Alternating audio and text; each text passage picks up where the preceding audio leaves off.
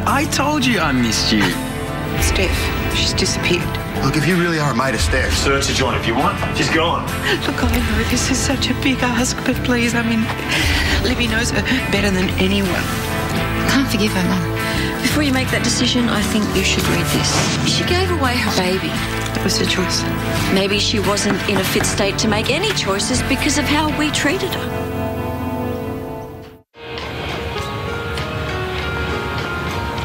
Oh, Libby left a voicemail message. She thinks she knows where Steph went. Oh, we couldn't get on to you. Oh, that's great. Where is she? She didn't say. We've been phoning her, but she's not answering.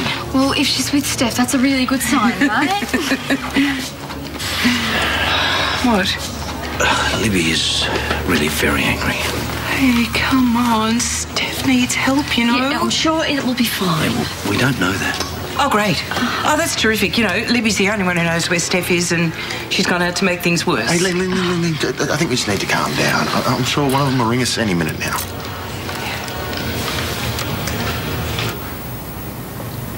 so what? I'm just going to sit here all day, am I? What do you want?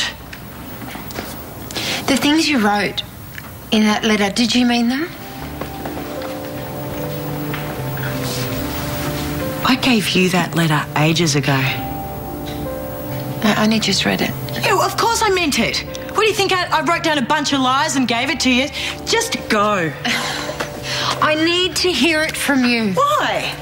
So you can watch me grovel? Because you owe it to me. Oh, no, I don't. Not anymore. I have paid for what I've done over and over. You ignored me for eight weeks. I'm done. You don't get to decide that. What, and you do? I made a mistake, yeah, but I refuse to stand here and make you feel better. I want you to go. Go! Not going anywhere. I don't want you here. Then throw me out. I'm sure it'll be all right. Oh, I hope so. I'm beginning to think I shouldn't have given that letter to Libby. No, mm. Oh, hi. Oh, what's in the bag?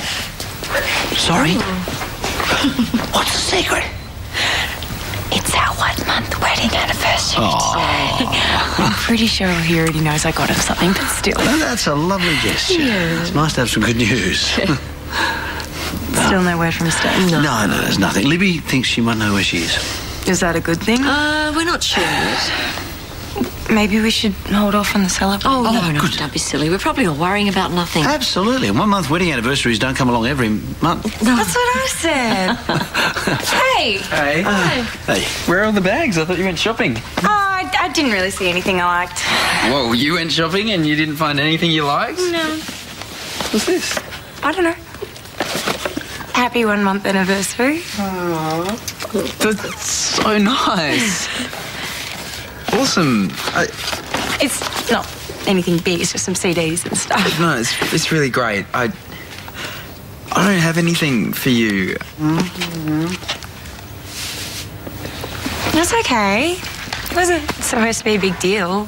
I just didn't realise we were celebrating one month.